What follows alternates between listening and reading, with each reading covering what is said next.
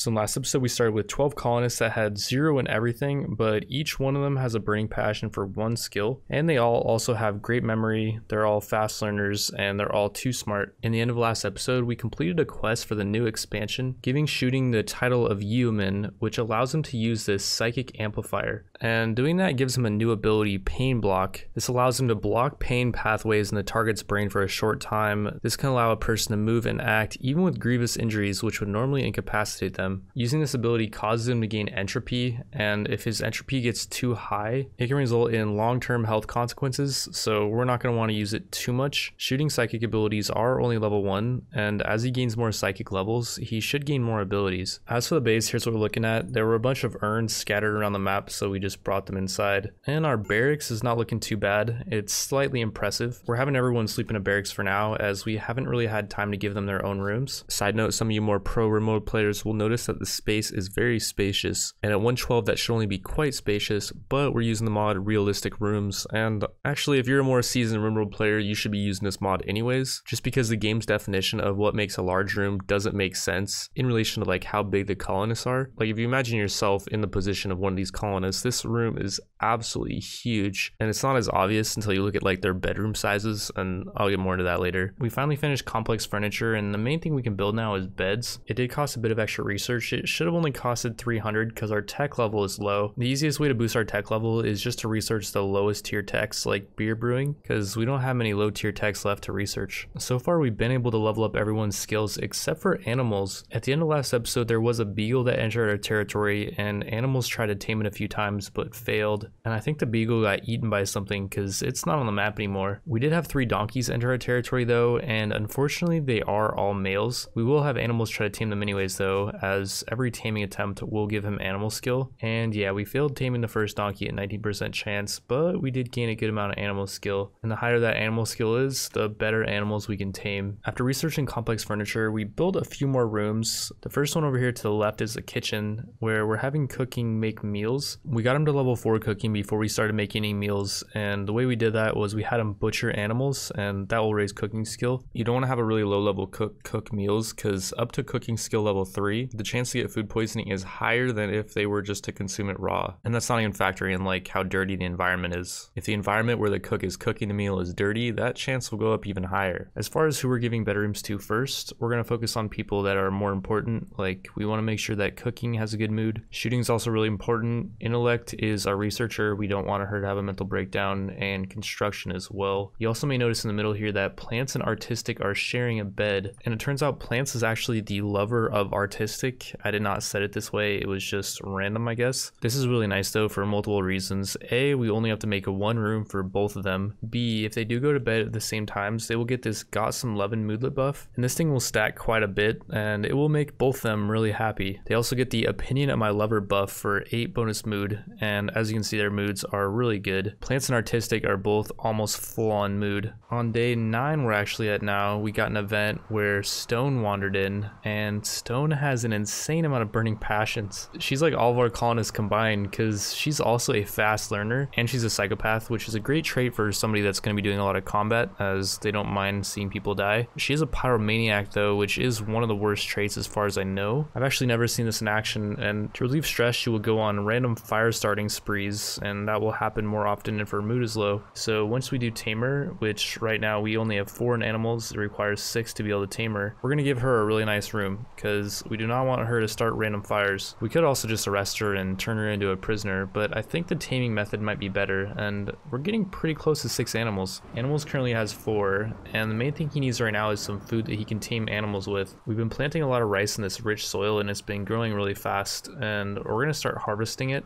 Animals can use that rice to tame with. We did already end up taming one of the donkeys and we have a pretty good chance of taming them. We failed at a 31% chance and we can only do it I think once every like half a day. And oh it looks like three more male donkeys wandered in which is highly unfortunate. Can we just get one female so we can breed these things? Whatever, we can start taming these things. And these ground runners as well are actually really cool. They are all females though. I don't know why we can't just get a mix. It's either they're all males or all females. No breeding allowed, I guess. This is a family friendly channel. These ground runners only have a skill taming requirement of two, and they're actually really cool. When we do tame one, I'll show you guys exactly why they're so cool. And yeah, we have a pretty good chance of taming these things too, 27%. So yeah, we should be able to tame one pretty easily and Animals has already capped out his daily XP. He got 4k XP already today from trying to tame all these animals, and yeah, his skill is going to be going up really quickly now. Well, not today because he's capped out, but just in general, his skill is going to start going up really fast. So it's around 1 p.m. on day 11, and we're currently getting raided by five dudes. These guys all do look pretty low tier, but like Gray, for example, has 9 melee. Bren has 6, and he's a jogger, so he moves really fast. And like, we don't really have anyone besides shooting that's all that good at fighting. Shooting's got 11 shooting and we made him a recurve bow. It's actually a good one. That will give us kind of an edge because these guys just have short bows. And the recurve bow does have three more range than the short bow and it's a lot more accurate at medium range. But what is he going to do? End up getting off like two shots and he's just going to get overrun. Pretty close by to where they're raiding from though, there is an ancient tomb that we can open. And inside the ancient tomb there is a bunch of spelopedes and a mega spider as well as some pretty nice items. We'll get more into what's inside later. The main thing though is we want to figure out a way to aggro the raiders to these insects and like these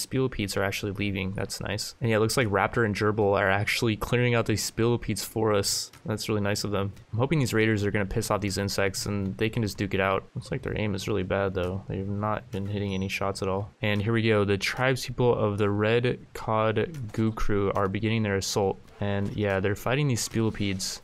Looks like this Mega Spider is coming out to fight them too. And where are they going? Okay, the Mega Spider was running away and it was kind of scaring me, but it came back and now it's fighting them. While they're duking it out, we're gonna have shooting come in here and well, I guess we can't grab the items. I'm not sure exactly why we can't pick up items. I wonder if that's a mod that allows you to pick up items. That's actually so crazy to me. And like, yeah, if we set up space for it, we could haul it, but I don't think we can pick up multiple items and like put them in his inventory. Pretty sure that's a mod. I also don't know who's gonna win this, so I'm not sure if I want shooting to help out the tribes people or help out the insects. It looks like Gray already went down. He didn't get killed, that's really good. And it looks like they are leaving now. There is still three insects up though, which is not good for us. Let's capture Gray and let's save him. Oh, and by the way, I forgot to mention that exactly 16 hours ago, we accepted this quest, Savage Animals. And the quest was in 16 hours, they're to send eight manhunting infected arrow fleets at us, and we got to clear them out. And yeah, here they are, literally moments after we got raided. These things don't seem too tanky though, and they're not that quick either. It shouldn't be too hard to deal with these. Oh, here they come, and it looks like they're going for our donkey. Oh no, donkey 3 is getting destroyed, but I guess that's okay we can use it as like a tank. And wait, did they just explode and then kill each other? Well, yeah, one exploded and then it did a bunch of AoE damage and killed the others. These things apparently can throw stuff too. And oh no, death of Donkey 3.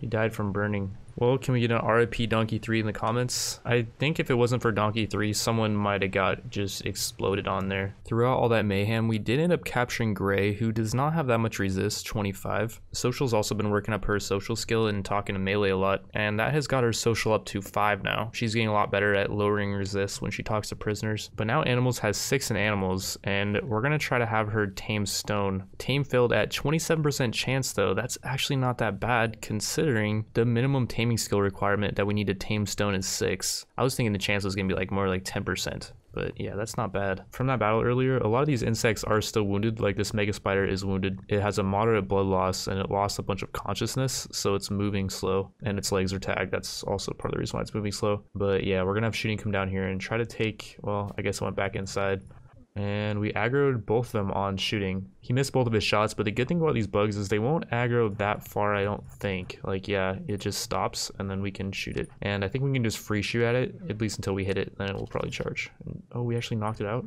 We go hit the Mega Spider, too. Mega Spider does not like that we shot at his friend. And wow, no wonder we knocked out the Spelopede. We hit it in the head, and we gave it a brain scar. That thing is done for good, pretty much. When it wakes up, it's not going to be moving very fast. That scar is permanent. Few more hits on the Mega Spider. Three in a row, I think that was. This thing should be going down soon.